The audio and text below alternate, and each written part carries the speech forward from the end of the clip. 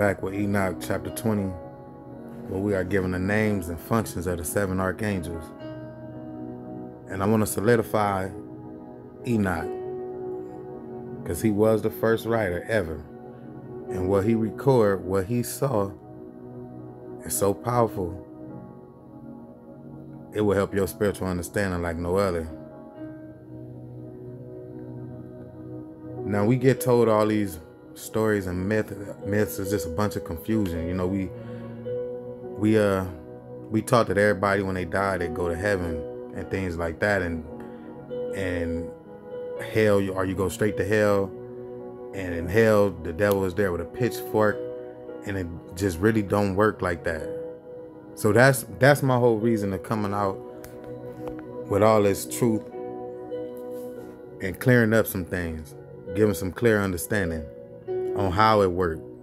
So that's why Enoch give us the functions that really take us to places that we ain't been yet. So we can see how this going how this going end, how this going wrap up. We was told these things. We have no excuses.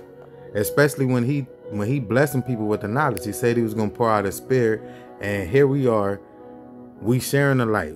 We ain't hiding the light. We shining it in this in this dark world, this dark fallen world. So hopefully you're getting wisdom and understanding and go do your own studying. So let's kick it off. Verse 1.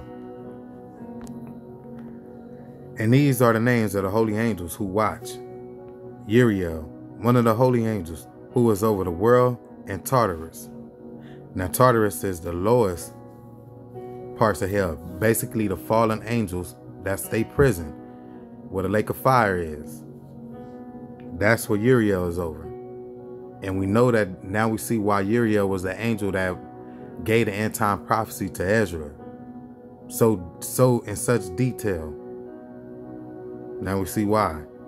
Verse 3 Raphael, one of the holy angels who is over the spirits of men. Now see that? Raphael is over the spirits of men. The souls did not go to heaven. They went to them chambers. Remember those three chambers I showed the other day? One was for the wicked. I'm sorry. One was for the for the martyred. One was for the holy, and one was for the wicked. Raphael's over those chambers, so ain't no Satan down there poking with a pitchfork, torment nobody. These spirits are asleep and they are being protected by archangel. Verse 4 Raguel, one of the holy angels who take vengeance on the world of the luminaries those fallen angels, and Raguel gonna take vengeance on them. Now, this is not no no order of the seven archangels. This is just basically breaking down their roles. Chapter 40, going to more detail about you know some of who is who is number one, basically. The order. Michael is number one. Verse 5, Michael, one of the holy angels, to wit, that is set over the best part of mankind and over chaos so Michael's this is this is what we started, what got this all started. Because in the book of Daniel, we was reading that the Gabriel uh, that the angel Gabriel was talking to Daniel, and he told him, he said, um, he said, I will in verse in Daniel chapter 10, verse 21, he said, But I will show thee that which is noted in the scripture of truth, and there is none that holdeth with me in these things, but Michael, your prince. So we seen that that Gabriel was giving us a hint, like Yo Prince Michael. So now we see that Michael is set over the best part of mankind, which we know is the children of Israel. That God made that covenant with. We know Michael is the one who's going to rise up, who's going to stand up in the last days and fight for us. We know that. And Michael was he was not mentioned nowhere else in the Old Testament prior to this Daniel account. So where's the scripture of truth that he was talking about, that Gabriel was talking about? It's the book of Enoch, this powerful book that was hidden from us. Also in Daniel, we see that he was told to shut up the book and seal it to the end. In the last days, knowledge was going to increase. It wasn't going to be no new knowledge falling out of the sky. It's, it's going to be this, this ancient knowledge that was passed down from our forefathers that was hidden away by the evil one and his army. But he gonna reveal all things. God gonna reveal all things and he preserve his word. If you study, you will see clear. So uh, what we leave off at? Oh, and then uh, so you over chaos as well, Michael over chaos. Chaos we know is Satan. That's the enemy. That's the adversary. And he's over that. He Michael is the restrainer. It's not the Holy Spirit. The Holy Spirit play a, a different role. Play different roles. He's the comforter, the teacher, plus many more. He got a beautiful role. So that is not the Holy Spirit that restrain. That is Michael. Scripture is so clear if we just really read it. Verse 6 Sarakiel, one of the holy angels who is set over the spirits who sin in the spirit. Those fallen angels that sin in the spirit. That's who over them. Verse 7 Gabriel. Gabriel, that's the one from Daniel. One of the holy angels who is over paradise and the serpents and the cherubim. Serpents, that the angels and the cherubim. The, two cherubims with the flaming swords that was set in front of the Garden of Eden. And, and one entrance. Because it's only one way to get into the Garden of Eden. The Garden of Eden is in the earth, inside the earth. And he is over them. We'll go into more detail. Last but not least, Remiel, one of the holy angels whom Elohim set over those who rise. Amen. Amen. And when you see that name, Phanuel, in chapter 40, reverse, referring to the same angel, it's the same angel. Same angel. But this one, Ramiel, this is the one who's in charge over the dead in Christ who should rise first. Remember that scripture? Now we see how this all play out. That's why I wanted to get into into these angels. Like our whole concept of the Bible had been so watered down, man. We must, we must seek relationship with God. Because He been pouring out his spirit. And if you know anything about the scripture, then you know what we headed towards. We headed towards a time where Satan is to set himself above God. He ain't, that's in his own mind. He'll never be able to do that. But in his own mind, he's to get people to worship him. He to get you to take that mark of the beast if you ain't spiritually strong, if you ain't putting on the whole armor of God. He's to deceive you. He's to, he to send, take a lot of y'all to hell with him to be burnt in that lake of fire. That second sting of death is real. That's why we told don't fear those who can kill a body, but can't kill your soul. But fear the one that can kill your soul and your body and send you to hell. So fear our God, our Elohim, the true Elohim, Yahuwah, over these fake imposters. Now, ooh, let's wrap it up. So we see here if y'all read the side notes, pause it and get some understanding. Side notes there. And now we get into the bottom. So that's it for chapter 20. But we see the Qumran scrolls mention angels by name also.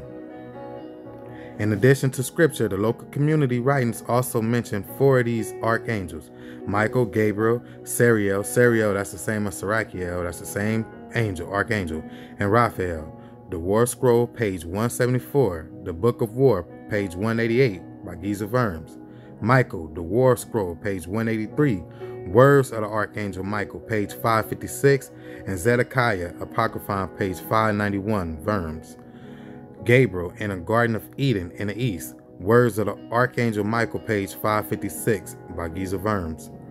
Thus, five of these seven are mentioned outside of Enoch as Uriel is the main angel in 2nd Ezra.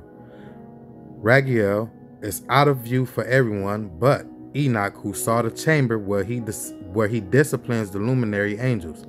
Remiel is also a hidden is in a hidden role, not one Israel would encounter. Why? Because Enoch was the one who was taken on a journey to see all these things. Not us, Enoch, the first writer who literally wrote the stuff down for us to have in this last remote generation, like he said. But oh, we disregard it. Why? Because these people with these titles in front of their name tell y'all out of ignorance. When y'all don't understand, these are the scoffers that the Bible talk about. So continue to be deceived if you want to, or read it for yourself. Pray for understanding and watch what the Holy Spirit gonna do. Just watch. Last but not least, the bottom, we gonna get into Gabriel a little deeper. Say Gabriel, angel of the east from the Garden of Eden. See, the Garden of Eden is on earth. See, they tell you, we don't know what the Garden of Eden is. Okay, the Bible tell us we know what the Garden of Eden is. In the far east, under the Philippines, Havilah. That's what the Garden of Eden is. So Gabriel, angel of the east from the Garden of Eden. Uh, how we gonna do this? Let's, let's zoom in. Let's say Enoch places the Garden of Eden in the far east with Gabriel in charge now. This is consistent with the scripture. This is consistent with scripture in Revelation chapter 7, verse 2 through 3. And I saw another angel ascending, ascending, meaning coming from up, up, not descending, coming down. He's ascending from the east,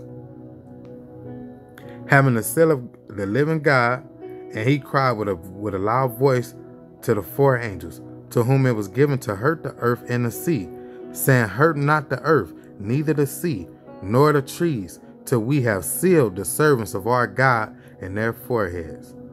Only an archangel will have such authority. Notice Gabriel ascended out of the out of the earth from the garden in which he is in charge. He is also in the very presence of Yahuwah there, not in heaven, but within the earth. And Luke 119. And the angel answered, saying to him, I am Gabriel, that stand in the presence of God. Gabriel is not in heaven, but in the Garden of Eden, and Yahuwah is holy of holies within the earth, just as Enoch witness affirmed by the book of Jubilees. Amen. And it's been 12 minutes of goodness, I pray, for those who really seek, man. Take time to really listen to this Bible I'm reading it to you because I don't want to hold the light. It's like, why would he bless us with the knowledge? Those who he blessed us with just for us to keep it to ourselves. We yearning to get this truth out. We want more people walking in truth and in light.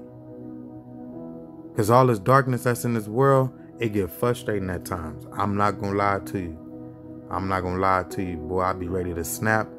That's why I get in these scriptures and say, okay, I, I was told what was to happen, what's to come, and how I must remain humble and meek. So I practice on that. I pray on that. So until next time, I pray to spark y'all to want to study more. Ask more questions. It'll help me better if I'm answering questions because, you know, when you're on a certain level, it's hard to try to meet somebody at, a, you know, at the at a at a different level because I don't want to confuse you because it's like man, I don't know where, I, where I'm gonna start at and how to break it down in the simplest forms, but I try my best. So it's a work in progress, man. So for those on that walk, walk the walk, stand firm, and put on the whole armor of God. Perilous times are coming, man. So much is coming. It ain't to scare you, it's to prepare you for what's coming. Now we know what salvation is. You've been saved from this wickedness on this earth, man. Yeah, you're gonna die. All of us must die. But you don't want to feel that second sting of death and be thrown in that lake of fire and be burnt up and none will remain but smoke and, and the smell of dust. I'm sorry, but dust and the smell of smoke from our Messiah. Out. You want to walk them streets of gold.